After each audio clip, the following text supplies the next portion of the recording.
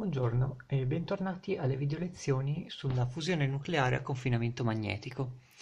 Eh, la volta scorsa ci siamo lasciati con um, questioni riguardanti la collisionalità nei plasmi e la distinzione tra particelle circolanti e intrappolate che danno origine poi ai fenomeni neoclassici.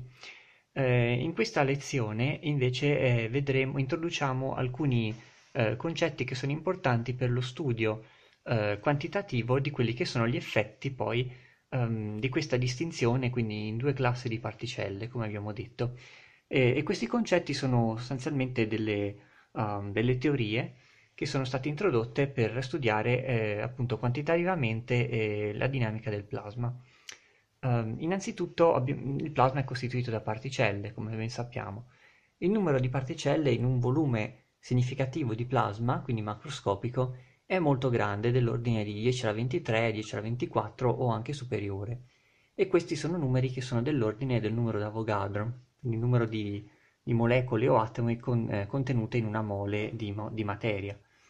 Il fatto che questi numeri siano così grandi rende lo studio della dinamica de, di, questo, di, questa materia um, da un punto di vista di singola particella praticamente impossibile perché richiederebbe uh, un'enorme potenza di calcolo e questo fa sì che vengano a, a, utilizzati altri approcci. In particolare si introduce una funzione di distribuzione che si indica con f.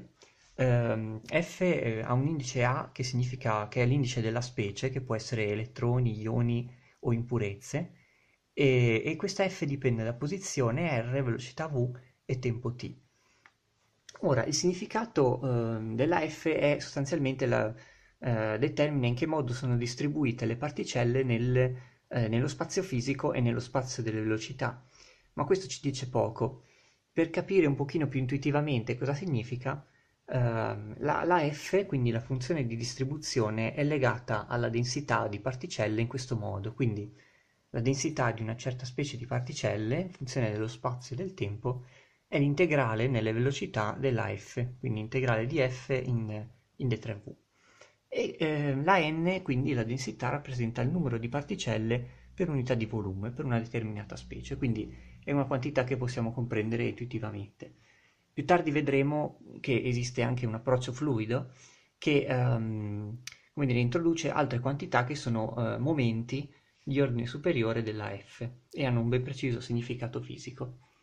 Gli argomenti della f, vale a dire la posizione e la velocità, ehm, sono determinate dal moto delle particelle che sono, ehm, che sono soggette ai, for- ai, campi elettromagnetici. In particolare eh, R e V sono determinate da queste equazioni. Eh, la derivata temporale di R è la velocità, questa sostanzialmente è una definizione, e eh, dv su dt, quindi V punto, è la forza che agisce su ciascuna particella, che è la forza di Lorentz eh, ovvero l'azione del campo elettrico più la forza V cross B, come ben sappiamo dalla, dall'elettromagnetismo classico. Quindi, ehm, quindi in presenza di campi elettromagnetici le particelle si muovono secondo queste leggi. Adesso la F a sua volta evolve nel tempo. La sua evoluzione temporale è data dalla cosiddetta equazione cinetica, che quindi determina il modo in cui la F varia nel tempo ed è dipendente dalle forze che agiscono su, su di essa. L'evoluzione temporale, quindi la derivata temporale totale della f, si può scrivere in questo modo, separando quindi la derivata parziale dalle derivate eh, delle, degli altri argomenti, no? che noi abbiamo indicato qui generalmente con z. Eh, quindi df su dt, derivata parziale, più d su dz, dove z è un, un vettore che descrive eh, lo stato del sistema nello spazio fisico e nello spazio delle velocità di cosa? Di z punto, cioè dz su dt, per la f stessa. Questa è una sorta di equazione di continuità e eh, in un certo senso um, eh, consiste nella conservazione del volume nello spazio delle fasi. Um, questa poi la vedremo tra un istante in maniera più esplicita, eh, perché nella forma in cui la mostriamo qui è di poca utilità pratica. Ad ogni modo, i campi elettromagnetici che entrano poi in questa equazione si possono dividere in due parti, una, una componente a breve distanza, cioè una, una, componente locale, chiamiamola così, che è quella che determina quindi la, la dinamica delle particelle a breve distanza. ed è, quello, eh, ed è la componente in pratica elettrostatica eh, determinata dalle eh, altre particelle, ovvero eh, il plasma è costituito da particelle cariche, ciascuna di queste eser- ha un, un campo elettrico che esercita una forza su tutte le altre. Invece a grande distanza, su una distanza sufficientemente grande, quello che domina è l'effetto dei campi medi, che sono quelli um, macroscopici, vale a dire sommati su tutto il numero delle particelle. Se noi eh, quindi separiamo i campi in una, partice- in, una, in una, componente media e una componente microscopica, gli urti eh, seguono sostanzialmente gli urti tra particelle sono determinati dalla componente microscopica che si schematizza, che si rappresenta con un operatore di collisione. Quindi la, la, la parte, diciamo, la derivata temporale do, determinata dalle collisioni è eh, rappresentata da questo operatore di collisione C, che ha indice A, per intenderci che stiamo, eh, stiamo riferendo a una singola specie di particelle, ma che si ottiene sommando su tutte le altre specie di particelle, eh, di modo che teniamo conto degli urti di una particella con tutte le altre. Quindi abbiamo visto come eh, il campo elettrostatico eh, locale dovuto alle singole particelle contribuisce con il termine di collisione. Se invece separiamo i campi, quindi nella parte microscopica locale e nella parte media, l'equazione cinetica si può scrivere esplicitamente in questo modo, quindi df su dt più v scalare gradiente eh, spaziale di f più e su n e più v vettor b df su dv, e questo è il termine di forza, quindi uguale C, quindi in termini di collisione. Questa è l'equazione cinetica più generale che si può poi eh, provare a integrare per trovare la F.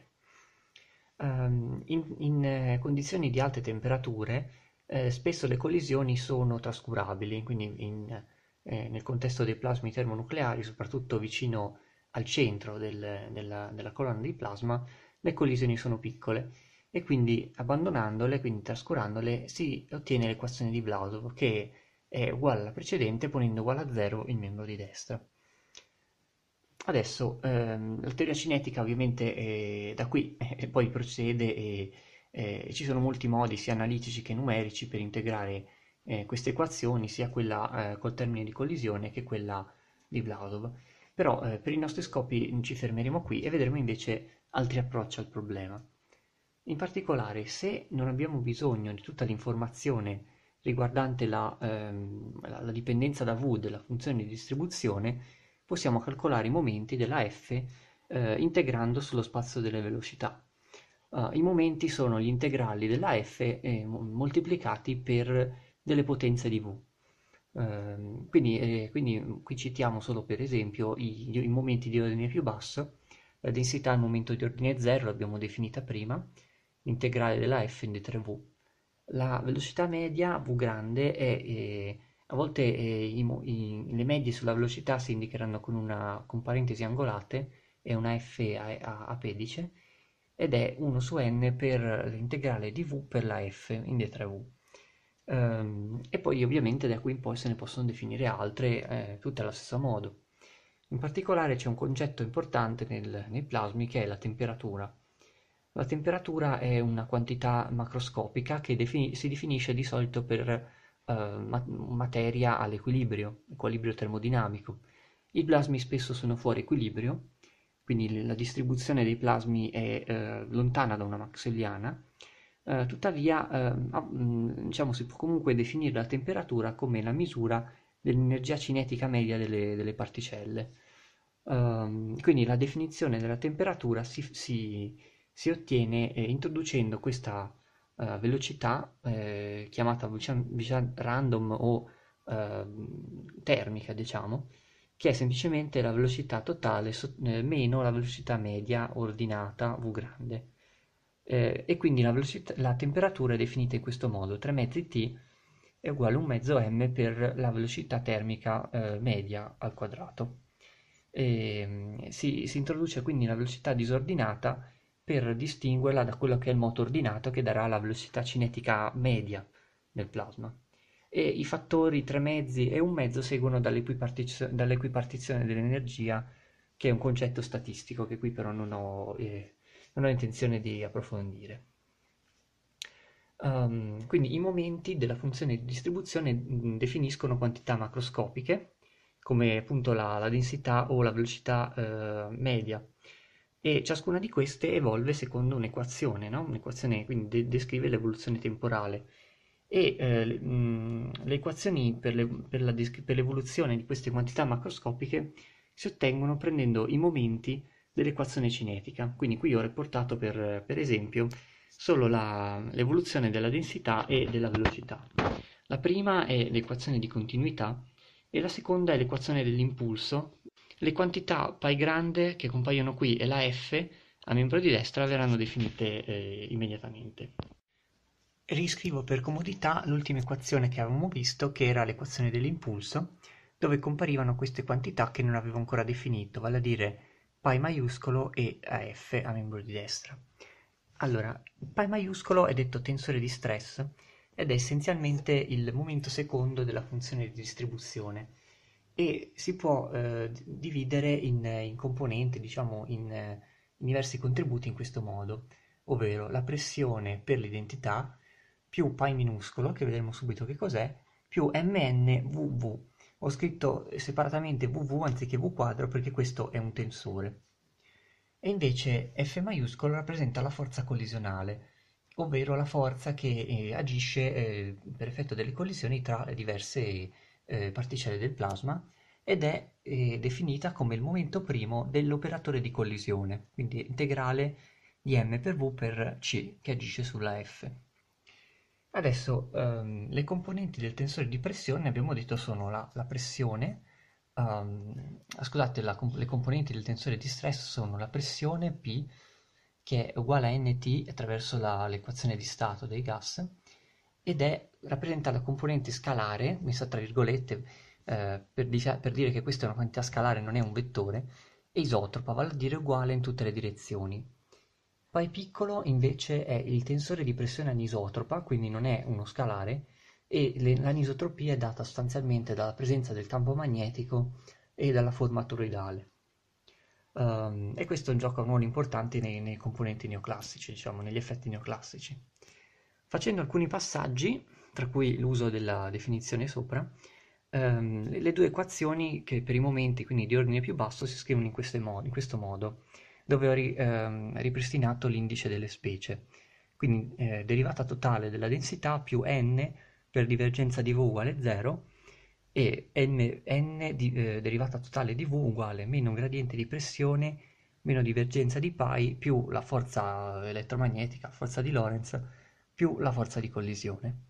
E la derivata totale è definita come eh, derivata parziale più v scala gradiente e questa rappresenta la derivata convettiva, vale a dire tiene conto sia della, della variazione intrinseca rispetto al tempo e della, uh, della, variazione dovuta al trascinamento degli elementi di fluido uh, ad opera della velocità fluida.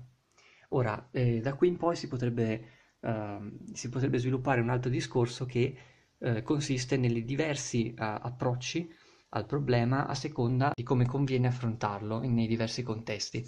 Tuttavia questo mi porterebbe eh, a affrontare argomenti molto complicati che dubito che avrebbero un seguito e quindi eh, suppongo che la, questa serie di lezioni termini qui.